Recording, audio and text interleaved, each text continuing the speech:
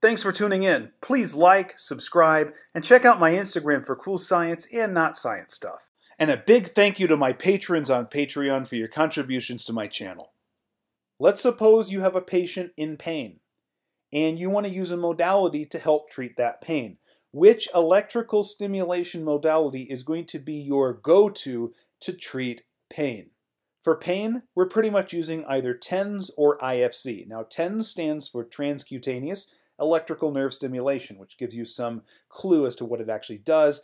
IFC stands for interferential current. Now, for the patient's purposes, there's pretty much no difference between TENS and IFC as for what they do for the patient's pain. They function identically. Mechanistically speaking, on a physics level, there are differences between TENS and IFC in how they actually function. However, for our purposes in a clinic to reduce pain, there's really only a few differences between TENS and IFC that will hit throughout the course of this video.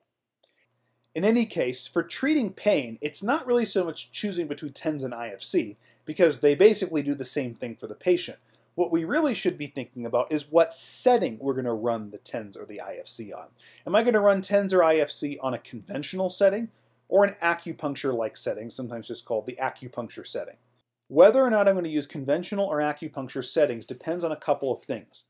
Number one is how long I can have the machine hooked up to a person or myself. So for example, let's suppose I wanted to hook a TENS or an IFC up to a person or myself for two to three hours. I can use the conventional setting with two to three hours. Why? Because the conventional setting, notice, can be used long duration. It can be used short duration, but it can be used up to 24 hours. Now, are you going to see TENS or IFC used for 24 hours? Probably not, but theoretically you could use the conventional setting up to 24 hours.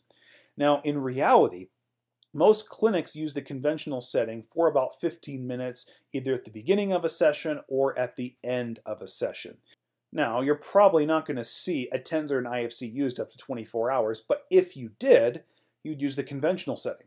So if a person was on the job, let's say an 8 to 5 job, and they needed pain relief that entire time, you could hook TENS up to a person or IFC up to a person using the conventional setting, but it would have to be conventional. It could not be acupuncture. The acupuncture setting is more intense and it can only be used up to a max of 30 minutes. And so a typical treatment duration for the acupuncture setting is about 20 to 30 minutes. So if the acupuncture setting can only be used up to 30 minutes, what's the advantage of using the acupuncture setting when the conventional setting can be used up to 24 hours?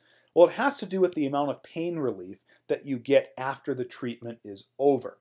I can use the conventional setting of TENS or IFC up to 24 hours, but that pain relief or analgesia is only going to be present while the machine is being used. As soon as you turn off the machine, the pain relief is going to stop. It's immediate, but it's short-lived, only while the machine is being used. Acupuncture is a more intense treatment, and so you're not going to really have pain relief while it's being used. However, after those 20 to 30 minutes, you can have pain relief up to five hours after the treatment.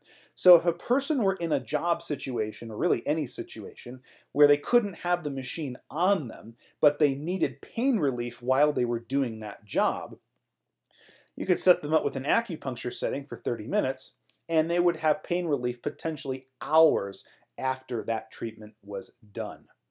Now, do TENS or IFC machines just have a button you can push to uh, set it as conventional or acupuncture setting? No. Instead, you're going to have to program the pulse duration and the frequency. So for conventional setting, the pulse duration is going to be between 50 and 80 microseconds.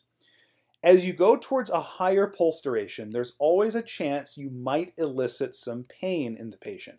And obviously, we're not trying to cause pain, we're trying to eliminate pain. And so a safe bet is usually to start at that lower pulse duration and just see what the patient can tolerate. The lower the pulse duration here, the less likely you are to cause pain, but you're pretty much going to be safe around 50 to 60 microseconds. The frequency for conventional settings should be between 100 and 150 hertz. For frequency, it's the opposite. Normally, the higher the frequency, the more comfortable it is for the patient. So if I was just starting out with this, I would probably set it to 150 hertz, but a pulse duration around 50 to 60 microseconds for a conventional setting. Now, acupuncture setting is the more intense of the two. Now, being the more intense of the two, the acupuncture setting is going to elicit discomfort. So this is not going to be a comfortable treatment for the patient, and you need to let them know that. What you're looking for uh, for an effective acupuncture treatment is strong, visible muscle twitch. So in order to elicit a muscle twitch, as we'll see in a few minutes, the electrodes have to be on muscle bellies, okay, in order to have a muscle twitch. That's what you're looking for, and this one is going to be uncomfortable. The conventional one is not supposed to be uncomfortable. It's supposed to be a strong but comfortable tingling. You do not have to put the electrodes over muscle bellies for the conventional setting. Also remember the conventional setting is immediate pain relief, but it only exists as long as you're using that, that machine. As soon as you turn it off, the pain relief's gone. For acupuncture, after the treatment's over, so after the discomfort's over, right, you can have pain relief for hours, up to about five hours after the treatment is complete. Let's now look and see how you apply the electrodes. Now between TENS and IFC, the electrode placement for TENS is a lot more versatile. Before we get into that, let's understand a couple of things. So we have electrodes right here. They're probably not going to be colored like this, but these red ones are hooked up to red wires. The black ones are hooked up to black wires, right? Technically, uh, the black ones are normally cathodes. The red ones are normally anodes. That doesn't matter for TENS and IFC. You don't need to worry about that. There's really only a few uh, E-stim techniques where you do have to worry about that, but not TENS or IFC. Now, with TENS, I can use two electrodes or four, and the arrangement of the colors does not matter. So for example, I can put this red electrode right here. I can put this one right there. Okay. I could put this black one right there. As long as there's two, it doesn't matter. I can also use four. Let me move these two up like that. I can put this black one right here. And I could put this red one right there. It does not matter. I could bring the black one over here and the red one over there. Again, the orientation of these electrodes does not matter. I could have one black one over here, one red one right there. As long as I have two or four, you're going to get some pain relief. It does not matter. I could even have these two on the low back. I could have these two on the scapulas. Okay, it does not matter. That's the whole point. As long as there's two or 4. In contrast, IFC electrode placement is not very versatile. And so the big thing here is you have to use all four electrodes and they have to be crisscrossed. What do I mean by that? Well, if I have this red one right here, and this black one right here, and then the red one here, and the black one there, that is crisscrossed. I'm using all four of them. The black ones are diagonal from each other, and the red ones are diagonal, okay?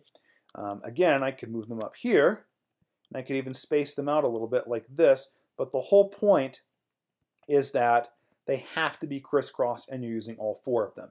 Tens, I don't have to crisscross them. I can use two red ones, two black ones, a red and a black one, or all four of them in any arrangement. It really doesn't matter. But for IFC, you have to use this crisscross pattern. So hopefully that makes sense. Now back to this. Down here at the bottom, large region, small region. This is something that's not black and white, and this is really only if you're being very rigorous, and this is violated all the time, but it's just worth mentioning because you might see it on an exam. For a large region of the body, like we have on anywhere on the back, really, you can use TENS or IFC. But if you have a small region of the body, it's better to use TENS. And the question is, why? Well, remember with IFC, you have to use all four electrodes, and they have to be crisscrossed like this. Well, what if you have a situation where a person had an ankle sprain? So for example, here, if you're looking at pain right here on the lateral side of the ankle, okay, getting all four electrodes on there is going to be quite difficult. And actually, really, the size of the foot is probably about like this relative to the size of the electrodes. And so you can quickly see that getting those electrodes on there, I mean, they're not going to fit basically, okay? Instead, what you'd actually have to do is probably have one of these electrodes here, probably the black one up here above the malleolus, and then the other two would just be on the other side. You would be able to see them, Okay, um, and that creates some issues with using IFC because technically they're not crisscrossed, right? Because two are actually on the other side of the ankle. If you have a clinic that only uses IFC, uh, you can still do this and the patient will still get pain relief. Okay, it's not going to really affect the treatment by doing this. But if you really were being rigorous, uh, for something like this, it's a smaller part of the body, you'd probably want to use TENS. But in practice, it's not going to affect it to use IFC here. You still want to make sure you're alternating red, black, red, black, but you can certainly put the other two electrodes on the other side of the foot. The very last thing to talk about here is what mechanism conventional TENS and IFC uses and what mechanism acupuncture TENS and IFC uses. So conventional TENS and IFC use something called a gate control mechanism. Acupuncture TENS and IFC use what's called the endogenous opioid mechanism. So hopefully this video gave you a good understanding of how to use eStim to treat pain. We use TENS and IFC, and hopefully you understand the difference between the two settings, conventional and acupuncture. Please make sure to like this video and subscribe to my channel for future videos and notifications. Thank you.